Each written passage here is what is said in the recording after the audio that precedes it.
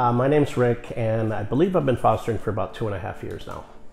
Chorizo was right here. She is a kitten that we got about six months ago. She suffers from grand mal seizures. Um, when we first got her, they were about every four to five days. Um, then they got worse to like every other day. Um, we had gotten lucky for a two week stretch, but I think that uh, we're going to have to just keep balancing and changing the medications until we find something that works for her.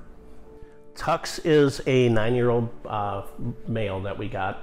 Uh, he was missing for all over parts of his body, and um, we took him in to get uh, him back to health, give him his medications until he was back to normal. When we, I believe we got Tux first, and then Chorizo came in. Um, when we got Chorizo, the first couple of seizures uh, Chorizo had, Tux had thought it was playtime because she was spinning around and, and uh, going into a seizure, and he was unaware that she was actually uh, having a medical condition.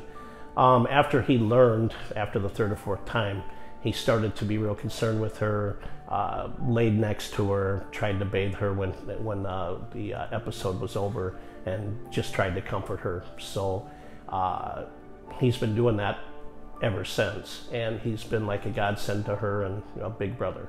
Um, I first started working with Jasmine, and then it was Megan and Aaliyah, and I think now it's Nadja.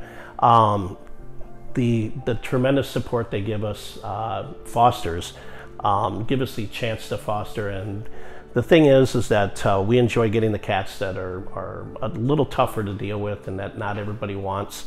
Um, they give us the most pleasure because they're the ones that have to work the hardest for us, and to be able to work with the Humane Society and the ladies I listed um, and the doctor, uh, they have made sure that they answer texts and phone calls at all times, and they're very supportive of us as we are of them. And it, uh, we work hand in hand and give the cats and dogs a better life.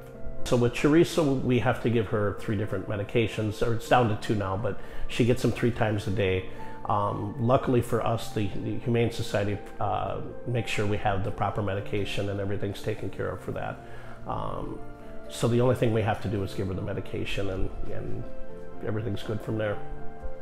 We took Chorizo knowing that the chances are we were going to end up having her until um, we either got her completely cured to where she'd be adoptable or we were just going to keep her until um, one of us passes away. I've seen at some shelters that they'll put them down because they're just their chances of being adopted are not good, and then their you know their life in a cage probably isn't much better.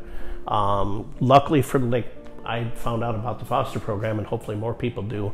It gives these cats and dogs and other animals a chance to live and prosper and actually find a forever home.